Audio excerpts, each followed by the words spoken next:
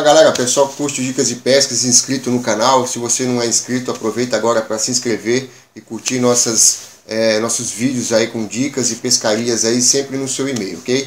Então, com referência a e-mail, eu recebi vários e-mails aí, o pessoal pedindo para me mostrar minha tralha. Então, já criei até esse quadro, minha tralha, justamente para mostrar o que eu uso para as minhas pescarias, né? E o que eu indico para o pessoal aí que está começando ou que já é, é já já está já há algum tempo pescando, é, algumas iscas aí é, para ter um bom sucesso aí na pescaria, tá?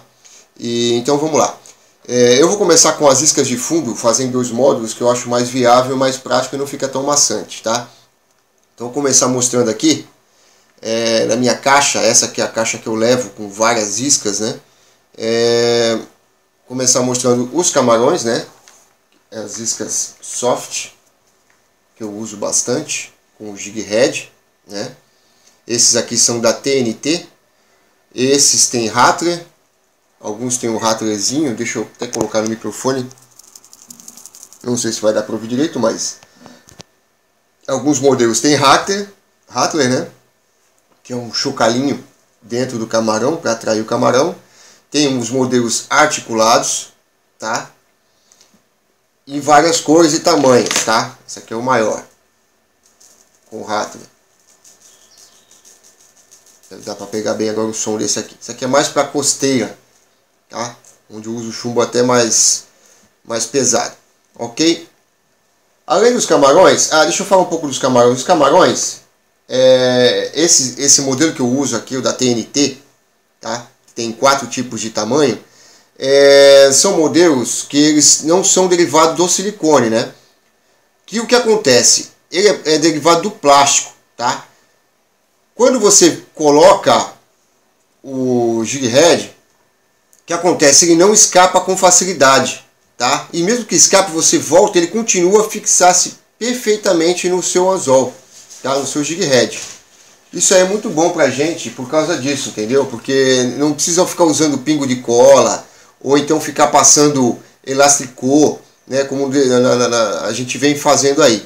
Mais outro detalhe, a durabilidade dele, tá gente? É, eu tenho iscas aqui de 4, 5, 6 meses que eu simplesmente jogo água e jogo de volta aqui na caixa. Sem precisar usar o, o silicone spray ou o silicone em pasta ou aquele líquido mesmo automotivo para voltar o brilho. Pode ver que esse aqui mesmo é um deles que eu uso direto tá? ou outros que seja aqui, ó, não perde o brilho. Simplesmente eu jogo água, deixo secar e coloco na caixa. É muito bom para a gente aqui do salgado, porque a gente perdia muito, muita isca é, devido a estragar o silicone, tá? É, derreter e coisa e tal, ele não derrete. Mais um detalhe que eu vou falar também dessa isca que eu gosto muito. Mesmo ela estando aqui atada com o jig head, você deixar em cima do seu barco, é, ou na pedra mesmo, no, costão, é, debaixo do sol puro, o camarão não derrete, tá? Então, para mim, hoje a TNT saiu na frente é, em relação custo-benefício à, sua isca é, por causa disso, tá?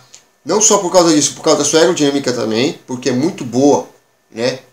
É, imitando muito bem o camarão, a sua é, é, flutuabilidade também é muito boa. Quiser usar outra montagem também é ótima. Ela boia muito fácil, entendeu? Quando o camarão, o peixe, o camarão não, o camarão, o peixe está muito manhoso, também dá para você fazer outros tipos de montagem, tá? Então esse é um camarão TNT, eu indico.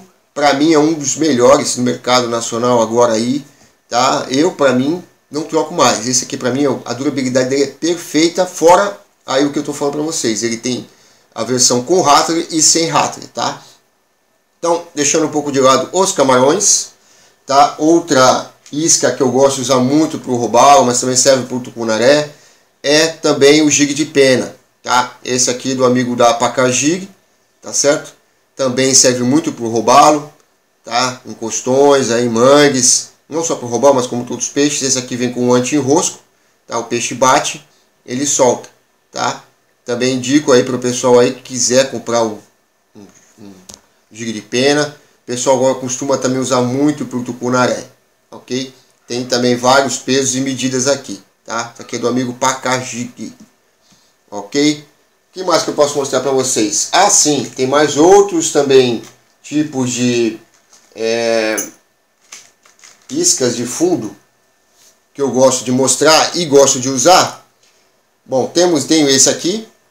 Esse aqui é da Moro de Conto, tá? Gosto muito de usar esse aqui é, em pescarias embarcado em alto mar ou então não com uma profundidade não tão funda, né? Também gosto muito de usar desse modelo aqui atado assim, tá? Eu gosto. Mais outro da Moro de Conto que também gosto de usar é este aqui, Girimar, muito pegador. Do amigo Pedro de Conto me enviou aí de presente, dou até um abraço para ele. Valeu, Pedrão, brigadão, hein? E esse aqui é o sapinho, tá? É, também é um ótimo coringa aí para você ter, tem várias cores também. Esse aqui é da Dinâmica, tá? Esse aqui eu comprei.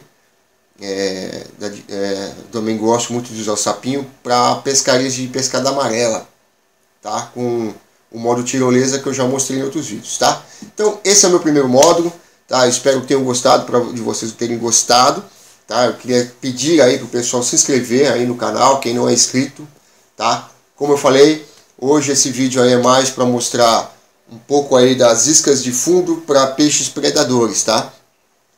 É, no caso aqui eu uso muito isso aqui para roubar, pescada amarela, pescada, que é onde eu pesco mais, é o que o peixe, o sororoca e coisa e tal, ok? É, curta a nossa página no Facebook, dá uma olhadinha no nosso blog, rivaldoribas.blogspot.com.br e também no nosso PP, o nosso app aí que está passando aí na, na, na sua telinha. Ok? Um abraço pessoal, tchau, tchau.